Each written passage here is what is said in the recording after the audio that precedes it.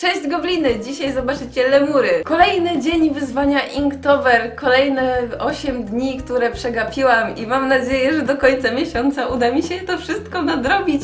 Więc dzisiaj siedzę do nocy i rysuję, ponieważ zmontowałam już dla Was jeden film, który jest na głównym kanale. Teraz pojawił się właśnie Inktober, a w momencie, kiedy to oglądacie, to produkuję już następne Inktobery i modlę się, żeby zdążyć z wyzwaniem do końca miesiąca.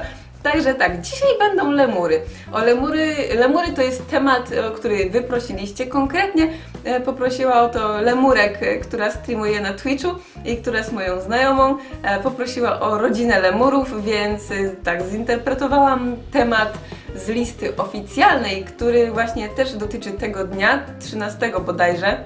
Który dzisiaj mamy? Gdzie jest mój szkicownik? Tak, jesteśmy przy Inktoberze 13, chociaż dzisiaj to jest chyba już z 24. E, no nieistotne. E, jest to temat teaming, czyli jakby grupowy, coś grupowego e, chyba, no więc zinterpretowałam to tak, że będą to lemury i zrobiłam je w, takim, w takiej stylistyce doodle. Chciałam, żeby ich było dużo na jednej stronie.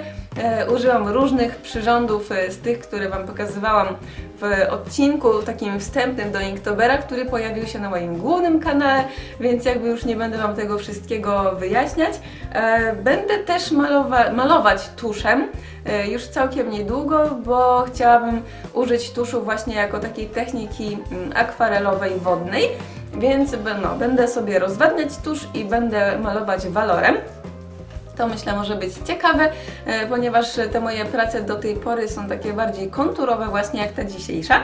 Także tak, już niedługo tutaj na kanale też pojawi się coś nowego, czego jeszcze nie było i mam nadzieję, że będzie tych prac więcej i że faktycznie się z nimi wyrobię.